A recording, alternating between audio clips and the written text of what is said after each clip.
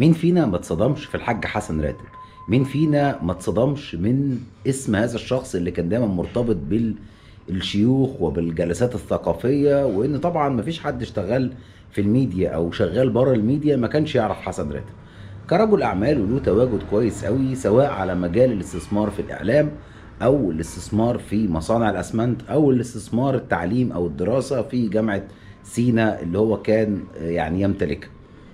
لكن طبعا القضية اللي اتمسك فيها في قضية الآثار هي اللي بتفسر وبتوضح إزاي الراجل ده كان يمتلك كيانات كبيرة زي دي. وفي نفس الوقت أنا الحالة الوحيدة اللي بس مستغرب لها أنت إزاي كنت قابل على نفسك تبقى عارف من جواك إنك بتتاجر في الآثار أو بتساعد أشخاص في تجارة الآثار والتنقيب عن الآثار؟ وانت ظاهر للناس بشكل العالم الدين والجليل واللي بتخرج أجيال واللي بتشغل ناس لدرجة إن أنا يعني للأسف يعني فوجئت بإن في بعض الأشخاص آه، كاتبين يعني كلمات فيها معناها هو الدفاع عن شخص حسن راتب.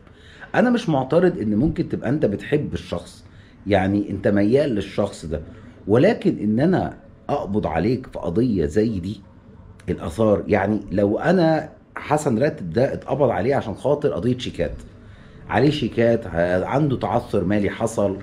أي حاجة حصلت سب وقصف ايا كان ايا كان نوع القضية اللي كان ممكن يتمسك فيها ما أعتقدش إن كان هيبقى في يعني مفيش يعني تعاطف معاه. أكيد كنا هتعاطف معاه لكن حسن راتب قضيته أكبر بكتير. هي قضية بالنسبة لي قضية شرف. إنك عندك من جواك إحساس إنك تتاجر في الآثار. نفسي أعرف الناس اللي نوعية حسن راتب والنوعية دي.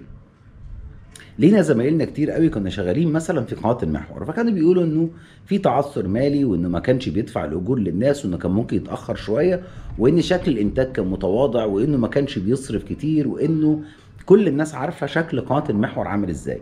أنت لو كنت بعت قطعة واحدة وصرفت على الناس دي كنت هتعمل حتى قناة كبيرة فهو حتى عنده ذكاء في إنه يظهر قدام الناس إن عنده تعثر مالي ولكن هو قد إيه إنسان من جواه مناضل ومش عايز يقفل هذا الكيان الكبير وبتاع. الحقيقة على رأي آه، صحفي صديقي جدا آه، كتب بوست جامد قوي فيها معناه يعني عرفتوا ليه الدولة آه، بتقف قصاد رجال الأعمال اللي من النوعية دي عشان في تحديدا اللي بيمتلكوا قنوات فضائية. علشان رجال الأعمال دول بياخدوا القنوات الفضائية دي ستار أو تهديد أو يعني نوع من أنواع التواجد المجتمعي القوي في انه وسيلة الإعلام دي ممكن تدافع عنه أو تتكال يعني أو يعني تكون في صفه فيما بعد أو لو حصل مشكلة. القصة بالنسبة لي إن أنت إزاي بجد قادر تحس من جواك إنك راجل عارف إنك بتعمل ده وبال يعني آثار يعني بص هو ما ننكرش إن أي حد في الدنيا على طول لما بنشوف واحد كده عنده غنى فاحش وعنده غناء كده يعني الغنى اللي حصل له ده مش طبيعي وظهر مرة واحدة انت على طول بتقول آثار على طول بتقول مخدرات على طول بتقول سلاح يعني هي دي أكتر ثلاث حاجات معروفة إن أنت في حالة تغير مالي كده بتحصل لك بسرعة وده منطقي جدا.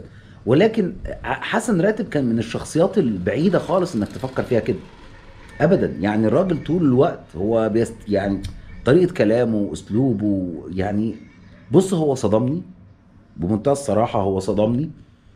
والله أعلم في كام حسن راتب آه، موجودين في البلد وكام حسن راتب متخفيين في نوع من أنواع الاستثمارات اللي شبه دي.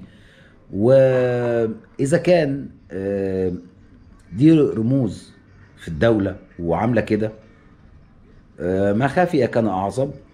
وإذا كان الناس دي اللي هي فعليا شبعت. لسه بتعمل كده. آه، مستغربين ليه الحرامية الصغيرين؟ ما هو طبيعي. يعني لما ده حرامي كبير وخلاص شبع وعمل فلوس وعمل حاجات كتير ومع ذلك لسه مستمر. فربنا يسترها. آه، وما نتصدمش في ناس تانية وفي أسماء تانية. تحديدا إذا كانت الناس دي بنحبها أو بنقدرها أو عندهم مساحة مننا كويسة. ففي كام حسن راتب الله أعلم. بس أكيد هنعرف الفترة اللي جاية دي لأنه متأكد إن في كتير. صباح الفل.